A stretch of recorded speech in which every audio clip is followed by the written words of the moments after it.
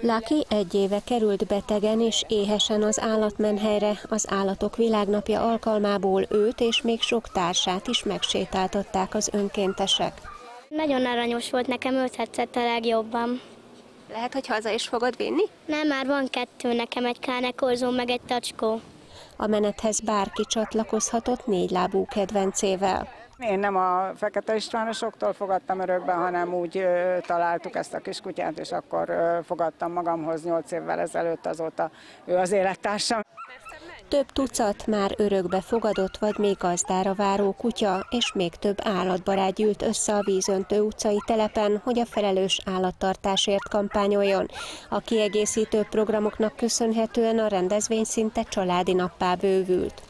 Hát egyrészt felhívni a figyelmet a felelős állattartásra, állatok világnapját kicsit valamilyen szinten megünnepelni, és az Egyesület ugye tíz éve van szombathelyen, úgyhogy ebből az alkalommal szerettünk volna egy olyan rendezvényt létrehozni, ahol találkozhatunk a korábbi örökbefogadókkal, illetve hát, ha most is lesznek új örökbefogadások.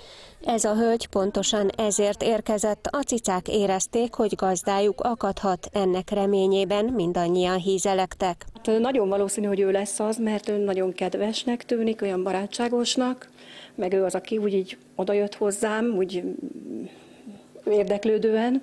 Hát remélem, hogy be tudjuk szoktatni a nagy kutyánk meg egy másik cica mellé. Az Állatvédő Egyesület telephelyén jelenleg 45 kutya és 25 cica várja, hogy örökbe fogadják.